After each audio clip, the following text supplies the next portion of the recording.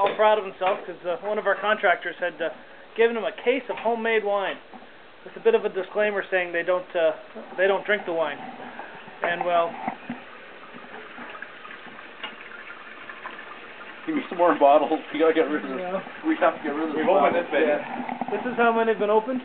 This is the last bottle to try. Oh, oh wait, it's not coming out brown. Hold on. So that many bottles open.